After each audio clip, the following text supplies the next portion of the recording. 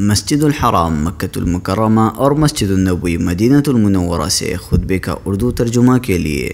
ہمارے social network کو follow کرنا نہ بھولیں اور اپنے دوست احباب کے ساتھ بھی ضرور شیئر کیجیے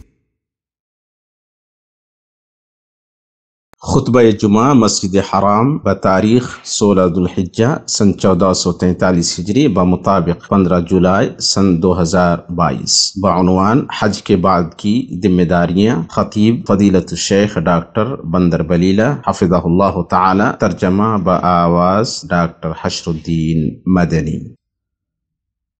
تمام تعریف اللہ کے لیے ہے، جس کے احسان سے نیک اعمال پورے ہوتے ہیں۔ اور پھیلتے ہیں اور جس کی رحمت سے برکتیں حاصل ہوتی اور برستی ہیں، اس نے اپنے گھر کی طرف معزز بندوں کے دلوں کو کھینچا اور ان کے لیے آمد اور واپسی کے راستے آسان کر دیے اور وہ بھرپور عطیات اور بڑی نوازشوں کے ساتھ واپس لوٹ گئے۔ میں گواہی دیتا ہوں کہ ایک اللہ کے سوا کوئی معبود برحق نہیں، اس کا کوئی شریک، ہمسر اور مثال نہیں۔ اور میں گواہی دیتا ہوں کہ محمد اس کے بندہ رسول ہیں، جو وسیلہ یعنی جنت میں سب سے بلند درجہ والے اور فضیلت و بلند مقام والے ہیں۔ اللہ درود و سلام اور برکت نازل فرمایا آپ پر، آپ کے آل و اصحاب پر، تابعین پر اور ان لوگوں پر جو ان کا اچھی طرح اتباع کریں جب تک صبح و شام ایک بعد دیگر آتی رہے۔ اما بعد لوگوں، میں آپ کو اللہ کے تقوی کی وصیت کرتا ہوں۔ اللہ آپ پر رحم فرمائے، آپ اللہ کا تقوی اختیار کریں اور روانگی کے لیے تیار ہو جائیں ہو جائیں کہ آپ کی کجاوے کس دیے گئے ہیں اور منزل کے لیے تیاری کر لیں کہ امیدیں جھوٹی ہیں۔ اللہ کا فرمان ہے، اے ایمان والو، اللہ کا کما حق ہو تقوی اختیار کرو اور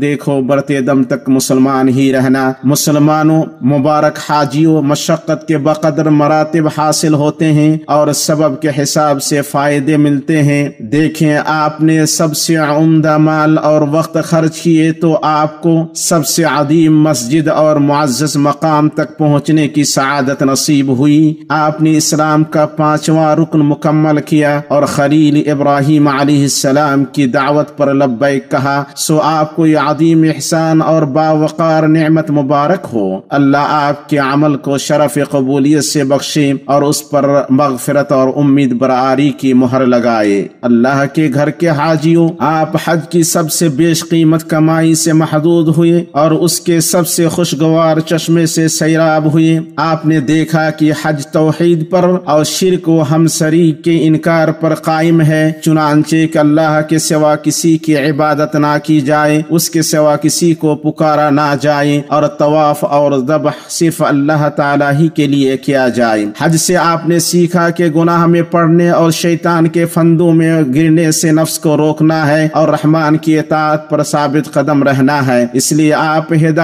پا لینے کے بعد گمراہی میں دوبارہ لوٹنے، اللہ کے لیے چنے جانے کے بعد گناہ میں دوبارہ پڑھنے اور طہارت و پاکی کا لباس اتار پھینکنے سے بچیں۔ عوامر پر ثابت قدم رہیں اور نافرمانیوں اور گناہوں سے بچیں۔ اللہ تعالی نے اپنے نبی محمد صلی اللہ علیہ وسلم کو مخاطب کرتے ہوئے فرمایا، جیسا تم کو حکم ہوتا ہے، اس پر تم قائم رہو۔ سفیان بن عبداللہ رضی اللہ تعالی عنہ نے عرض کیا، اے اللہ کے رسول آپ مجھے اسلام کی ایسی بات بتائیں کہ اس کے بارے میں آپ کے بعد کسی اور سے نہ پوچھوں۔ تو آپ نے فرمایا، تم کہو، میں اللہ پر ایمان لایا، پھر اس تم اس پر قائم رہو۔ اسے امام مسلم نے روایت کیا ہے۔ نیز اللہ، آپ صلی اللہ علیہ وسلم نے فرمایا، تم سیدھی راہ پر قائم رہو اور تم کما حق اس پر ہرگز قائم نہیں رہ سکو گے اسے امام احمد اور ابن ماجہ نے روایت کیا ہے۔ شاعر کہتا ہے، اور جو اللہ کو مضبوطی سے پکڑے گا، وہ ہلاکت سے محفوظ رہے گا، اور جو سیدھی راہ پر قائم رہے گا، وہ شرمندہ نہیں ہوگا۔ حضرات گرامی، اگر پچھلے فضیلت والے دنوں میں آنکھوں کو ٹھنڈک ملی، دل صاف ہوئے اور سینے کشادہ، تو یہ رب تعالی کا فضل اور قربتوں کی باد نسیم ہے۔ جب بندہ اللہ کی طرف متوجہ ہوئے اور طاعتوں سے اس کی قربت حاصل کی۔ ایمان اور اطاعت مقصدوں کا مقصد اور بشارت و اعزاز کا خزانہ ہے۔ اللہ کی طرف، اللہ کی طرف چلنا اور اس کی خوشنودی کو تلاشنا فوری وافر بدلہ اور باوقار حاضر نعمت ہے۔ مومن لوگ لوگوں میں سب سے اچھی حالت اور سب سے خوشگوار موڈ والے ہوتے ہیں۔ اللہ تعالیٰ نے فرمایا، سن رکھو کہ جو خدا کے دوست ہیں،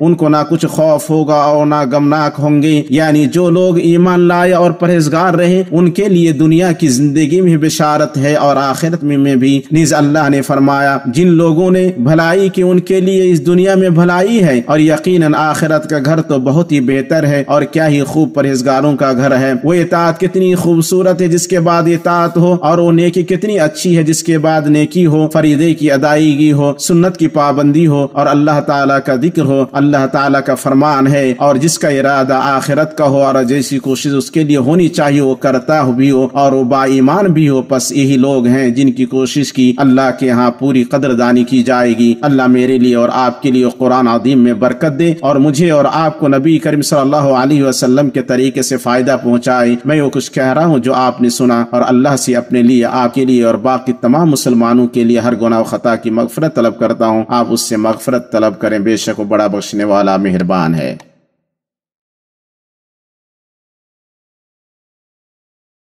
اللہ کے لیے تمام بے شمار اور بے انتہا تعریف ہے۔ اور میں گواہی دیتا ہوں کہ ایک اللہ کے سوا کوئی معبود برحق نہیں، اس کا کوئی شریک نہیں۔ اور میں گواہی دیتا ہوں کہ محمد اس کے بندہ اور رسول ہیں۔ اللہ درود اور سلام و برکت نازل فرمائے آپ پر، آپ کے آل و اصحاب پر اور اچھی طرح ان کی پیروی کرنے والوں پر اور بہت زیادہ سلامتی نازل فرمائے۔ اما بعد، اللہ کے بندو، اللہ سے ڈریں اور جان لے کہ ایمان کے تقادوں میں سے جن کے بغیر ایمان پورا نہیں ہو سکتا ہے، اللہ تعالیٰ سے محبت ہے۔ ایسی محبت جس میں صرف اللہ کی عبادت ہو، کسی دوسرے کی نہیں۔ اس لیے کہ عبودیت ایسے دو ستونوں پر قائم ہے، جن کے بغیر وہ کھڑی نہیں رہ سکتی اور وہ ہے نہایت محبت کے ساتھ، نہایت ان کے ساری۔ اور یہ صرف اللہ تعالیٰ ہی کے لیے درست ہے۔ اللہ تعالیٰ نے فرمایا، اور ایمان والے اللہ کی محبت میں بہت سخت ہوتے ہیں۔ اور مصطفیٰ صلی اللہ علیہ وسلم نے فرمایا، جس کے اندر تین چیزیں ہوں گی، وہ ایمان کی چاشنی پائے گا اور ان میں سے یہ ہے کہ اللہ اور اس کے رسول، اس کے نزدیک تمام چیزوں سے محبوب ہو جائیں، اسے امام بخاری و مسلم نے روایت کیا ہے۔ اور بندہ کا مقام و مرتبہ اس کے رب کے پاس اسی قدر ہوگا جس قدر وہ اس سے محبت کرے گا، اس کے حکم کی تابے داری کرے گا اور اس کے منحیات سے بچے گا۔ اتنی بات ہوئی۔ آپ درود السلام پڑھیں بشیر و نذیر اور سراج منیر محمد بن عبداللہ رسول اللہ پر۔ اے اللہ، تو درود و سلام اور برکت نازل فرما آپ پر، آپ کے پاک پاک باز اہل خانہ پر اور آپ کی بیویوں امہات المؤمنین پر۔ اے اللہ، تو راضی ہو جا۔ چار خلفاء اور آئمہ حنفاء ابو بکر، عمر، عثمان اور علی سے، باقی تمام آل و اصحاب سے اور ان لوگوں سے جو تا قیامت ان کا اچھی طرح اتباع کریں اور ان کے ساتھ ہم سے بھی اپنے احسان و کرم سے راضی ہو جا۔ یا کریم، یا متعال۔ اے اللہ، اسلام اور مسلمانوں کو غلبہ عطا فرما، دین کے قلعہ کی حفاظت فرما اور اپنے مؤمن بندوں کی مدد کر۔ اے اللہ، غمگین مسلمانوں کا غم دور کر۔ مصیبت زدہ لوگوں کی مصیبت ختم کر۔ قرض داروں کا قرض ادا کر۔ اور ہمارے بیماروں اور مسلمانوں کے بیماروں کو شفا عطا فرما۔ اپنی رحمت سے یا رحم الرحمین۔ اے اللہ، تو ہمیں ہمارے وطنوں میں امن عطا فرما۔ ہمارے سربراہوں اور حکمرانوں کی اصلاح فرما۔ ہمارے ایمان اور ولی امر کی حق، توفیق اور درستی کے ذریعے تائید فرما۔ اے اللہ، تو انہیں اور ان کے ولی عہد کو ایسے کام کی توفیق دے جس میں ملک اور بندوں کی بھلائی ہو۔ یا رب العالمین، اے اللہ، سرحدوں پر تعینات ہمارے سپاہیوں کو درستی عطا فرما۔ اے اللہ، تو ان کا معین و مددگار بن، ان کی تائید فرما اور ان کا سہارا بن۔ اے دلوں کے بدلنے والے، تو ہمارے دلوں کو اپنے دین پر قائم رکھ۔ اے دلوں کے پھیرنے والے، ہمارے دلوں کو تیری اطاعت کی طرف پھیر دے۔ اے ہمارے رب،